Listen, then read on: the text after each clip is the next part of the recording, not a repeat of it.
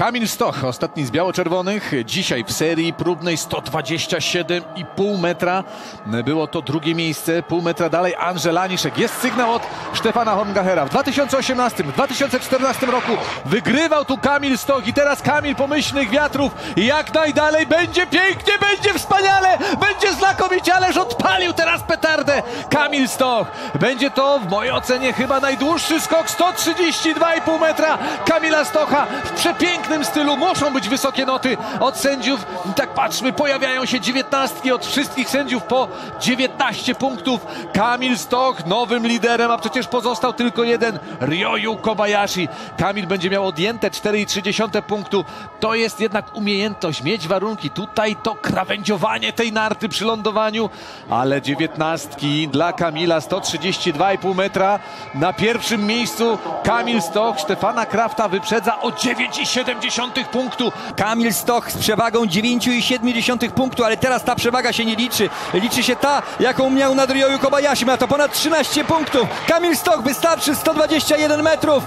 Sebastian, czy to Leci, będzie leci, zwycięstwo? leci! Yeah!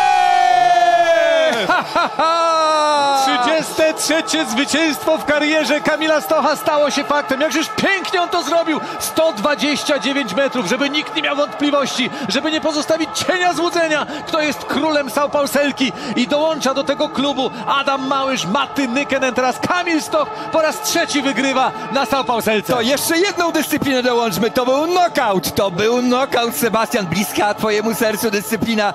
Kamil Stoch wygrywa. Z jaką przewagą? Pamiętasz, że on tutaj od czasów, kiedy e, włączono te wszystkie przeliczniki za wiatr i za belkę startową, wygrał z przewagą ponad 28 punktów rok temu. I to była największa przewaga, jaką lider miał na Witam Państwa, przed nami Puchar Świata w Lahti na Staupolselce, skocznia o punkcie konstrukcyjnym 116 metrów, hillside to 130 metrów, a rekord należy do Johanna Andre Forfanga i wynosi 138 metrów.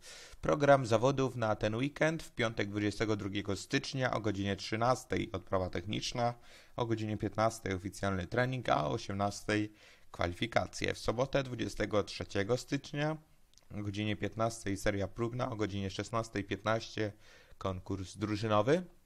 W niedzielę 24 stycznia 2021 roku o godzinie 14.30 seria próbna, a o godzinie 16 konkurs indywidualny. Skład reprezentacji Polski na Puchar Świata w Finlandii e, wygląda następująco. Aleksander Zniszczał, Paweł Wąsek, Jakub Wolny, Andrzej Stękała, Piotr Żyła, Dawid Kubacki i Kamil Stoch. To jest aktualna klasyfikacja Pucharu Świata, czołowa trójka tejże, tego zestawienia. Prowadzi Halvor Egner Granerud, drugi Markus Eisenbichler, trzeci Kamil Stoch. E, A tak wygląda Puchar Narodów. Na pierwszym miejscu Norwegia, druga Polska, na trzecim miejscu podopieczni Stefana Horngachera, reprezentacja Niemiec. E, Dodam tylko, że mm, Polska straciła prowadzenie po Pucharze Świata w Zakopanem. E, Norwegowie prowadzą z przewagą 38 punktów nad naszymi reprezentantami. Mm, Mamy nadzieję, że w sobotę już odzyskamy to prowadzenie mm, po konkursie drużynowym. Jak nie w sobotę, to w niedzielę po konkursie indywidualnym, bo wiemy, że indywidualne punkty też wliczają się do tej klasyfikacji.